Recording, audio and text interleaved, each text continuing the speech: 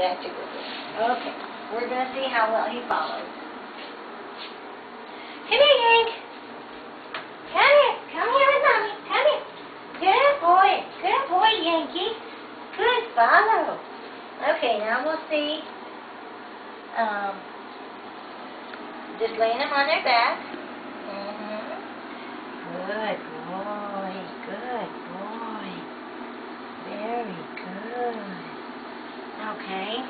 Where's another test we do? We squeeze their paws. And I think because of our puppy exercises, it doesn't seem to bother them.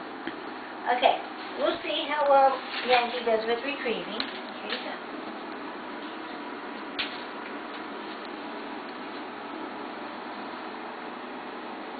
Good boy, Yankee.